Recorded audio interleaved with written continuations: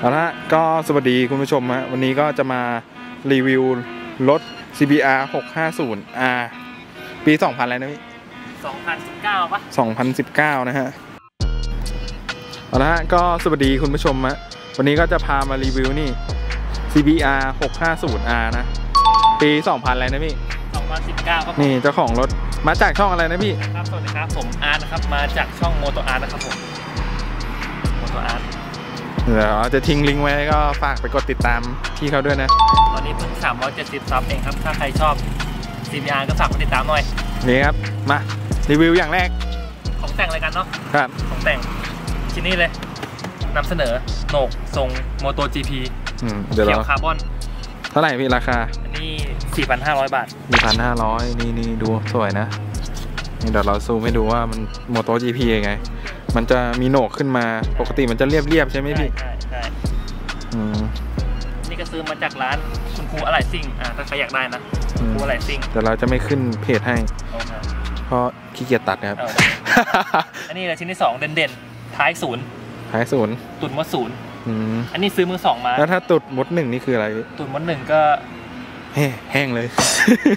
ไม่ทันได้นัดมุกกันเลยฮะไม่มาทันต่อได้พี่นัดมุกกันต่อพี่ อันนี้ราคา2 5 0อืม0 ซื้อมือสองมานะอืมปกติท้ายมันจะด้วนนะพี่เนาะใช่ มันจะเป็นเบาะสองตอน มันจะไม่ค่อยเฟี้ยว ใช่ ไม่เฟี้ยวเลยแหละ นี่นี่เราโสดหรือเปล่า เราถึงจะใส่เนี่ย ใช่ อันนี้อันนี้อันนี้ผมโสดนะ ผมเลยเอาที่พักเท้าออก นี่อืมซื้อถ้าถ้ามีแฟนเมื่อไหร่จะเอาใส่เหมือนเดิม รับสาวดีกว่า แล้วที่เอ่อขาดไม่ได้ที่ต่อไปก็เป็นท้าย ท้ายสั้นพับได้ อย่างเฟี้ยว ท้ายสั้นพับได้แต่ว่า ไปเลี้ยว ไปท้ายไม่มี ไปท้ายหลุดนะ ไปท้ายไม่มีนี่ แล้วก็กะกะว่าน้ำกาป่ะรมอน้ำใส่แน่นอนการมอน้ำนี่เป็นของศูนย์นะ เป็นของ H2C นี่ข้างในอ่าของศูนย์ใช่ของศูนย์นี่จริง ๆ เคยซื้อของนอกมาแต่ว่าใส่ไม่ค่อยดีเท่าไหร่เลยไม่เป็นของศูนย์แต่อันนี้จำราคาได้น่าจะพันห้าบาทไม่พันห้าได้พันห้านะเออแล้วก็มีอะไรอีกนะพี่มีนี่กระจกถอดออกหลุดกระจกเออปุดกระจกถกอดระจอกอก แบบแบบล่องหนรุ่นถอดออก รุ่นถอดออกใช่ เออแล้วก็มีอะไรอีกนะพี่ มีมีคันนี้โหลดหน้ามาอืม หลุดหน้าม้าโหลดหน้ามาอ๋อหน้าม้าเกือบตามมุกไม่ทันเฮ้ยไม่แน่ใจว่านิ้วหนึ่งหรือเปล่านะอืมโหลดที่ศูนย์มา น่าสามร้อยบาทอันเนี้ยโหลดศูนย์ของผมเก้านิ้วนะพี่อือืมมมุกอะไรกันครับเนี่ย มีอะไรอีกไหมพี่มีนี่นี่ท่อท่อท่อใช่ใช่จะเป็นท่อ อันนี้จะเป็นท่อเดิมผ่านะนี่ไอที่เดินตามกันนะนั่นพาอืมตบมุกแทบไม่ทัน เต็บเล่นเองตบเองพี่มาท่อเดิมผ่าเดี๋ยวให้ฟังคลิปเอ้ยให้ฟังเสียงตอนท้ายคลิปเนาะโอเค เราจะเบิ้ลในปั๊มกันอะ ในปั๊มนี่แหละเฮ้ยไม่ค่อยดังเท่าไหร่ใช่ในคันนี้จะเป็นเดิมๆไม่ค่อยมีอะไรมากแบบเป็นเน้นแบบเรียบสไตล์คน ๆจน งบน้อยด้วยพี่นอนก็น้อยโอเคเนาะก็ต่อไปมาพูดถึงข้อดีเนาะข้อดีเนาะข้อดีข้อเสียมา ข้อดีข้อเสียเริ่มจาก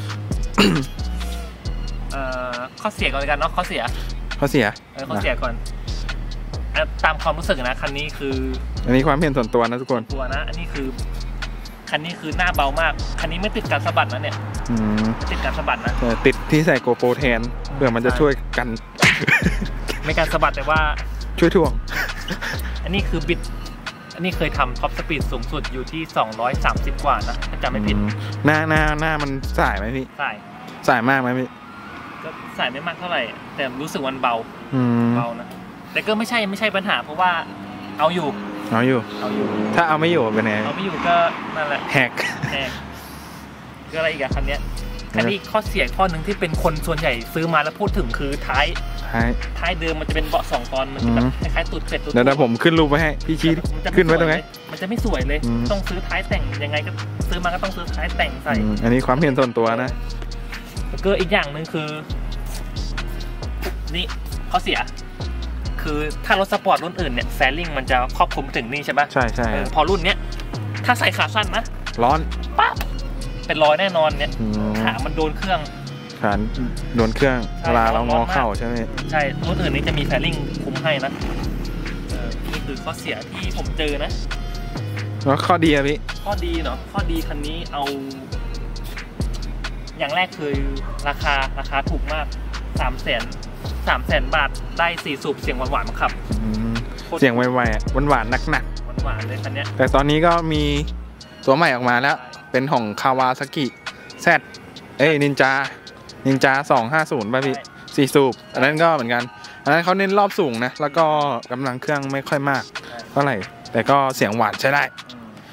ไม่เคยฟังนะ ดูแต่ใน YouTube เอา เคยไม่เคยเจอเหมือนกันอืมอยู่พิษโลกยังไม่เคยเจอนะ ใช่ครับ ก็ข้อดีข้อดีส่วนต่อไปก็เป็นเรื่องส่วนสูงนะผมว่านะอืมพี่ลองเข้าไปดูว่ารถมันสูงอะนะสูงร้อย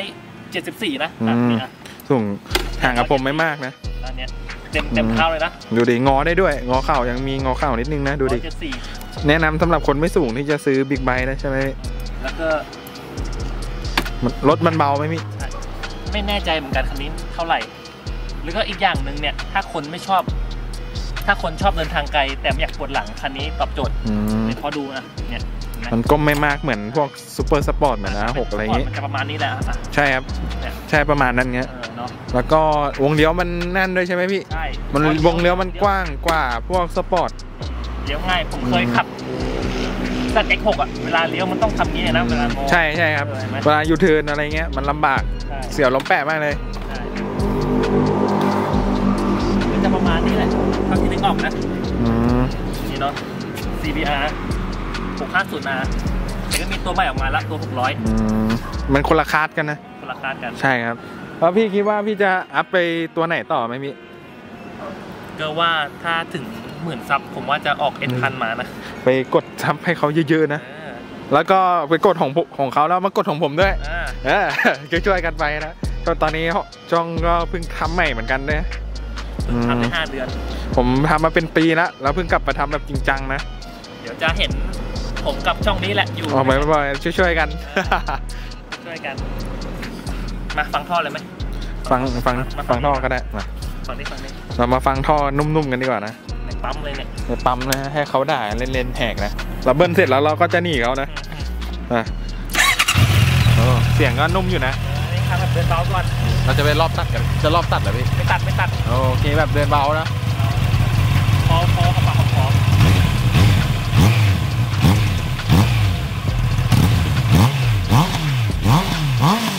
โอ้ระเบิดอยู่นะ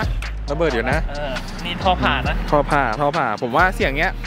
จริงๆนะถ้าอยู่ในหมู่บ้านเขาไม่ด่านะ เสียงอย่างเงี้ย แต่ของผมก็พอได้นะอืมเขาด่าตามหลังอะไอชิบหายโอเค คลิปนี้ก็ประมาณเท่านี้แหละอืมนึกอะไรไม่ออกละนึกไงไม่ออกนะโอเค YouTube หน้าใหม่โค้ดก็ไม่ค่อยคล่องก็ฝาก ฝากคุณผู้ชมมาชมคลิปกันด้วยนะ แล้วก็ฝากกดติดตามด้วยเพื่อจะได้มีเงิน